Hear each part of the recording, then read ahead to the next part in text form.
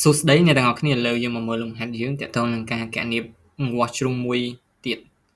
អញ្ចឹងលំហាត់នេះនៅស្ថិតនៅក្នុងថ្នាក់ទី6អញ្ចឹងគេថាចតុកោណភ្នាមួយមានប្រវែងជុំវិញ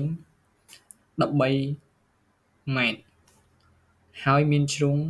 នេះគេប្រាប់គឺ2.34ម៉ែត្រហើយ3ម៉ែត្រ4.5ម៉ែត្រអញ្ចឹងកណៀអញ្ចឹងយើងដឹងហើយបរិមាណប្រវែងជុំវិញគឺស្មើ មានន័យថាយើងយក13ពេលអញ្ចឹងគឺត្រូវយក13ដកជាមួយនឹងប្រវែងនេះ3នេះចេញអញ្ចឹងដកត្បូងដក2.34ដក3ដក4.5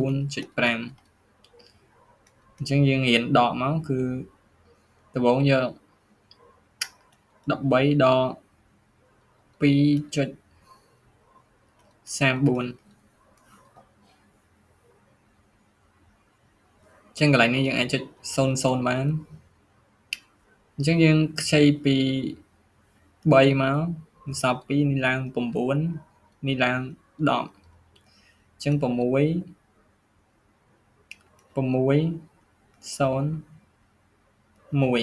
ញ្ចឹងឃើញ10.66តមកយើងដក3ទៀត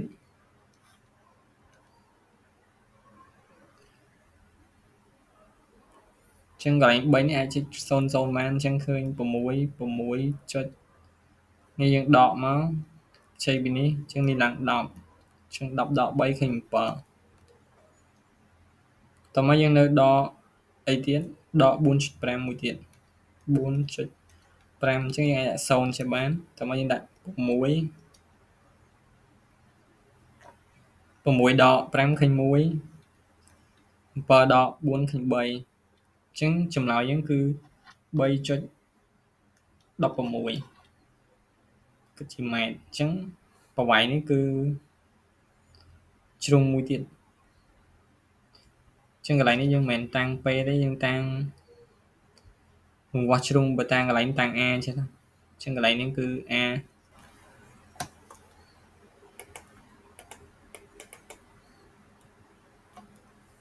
ជាង a ស្មើជាមួយនឹង13បរិមាត្រទាំងអស់ហ្នឹងដក3នឹងចេញនេះជាចម្លើយរបស់យើងអញ្ចឹងមាន a ស្មើនឹង3.16ម៉ែត្រ